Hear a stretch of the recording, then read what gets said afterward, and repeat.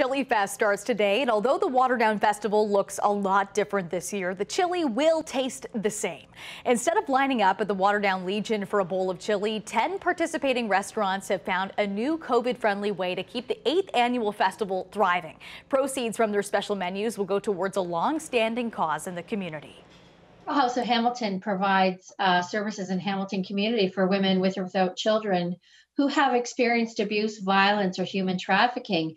One of our programs is Flamborough Women's Resource Services uh, in Waterdown. Um, this year, it's $5 from every bowl of chili goes towards the Women's Resource Center. Well, I think it's amazing that the committee came up with such a unique opportunity to raise funds. It's kind of cool also this year just because we get to make things other than chili. So, so we have a chili um, pizza, so it's like an Indian style chili pizza.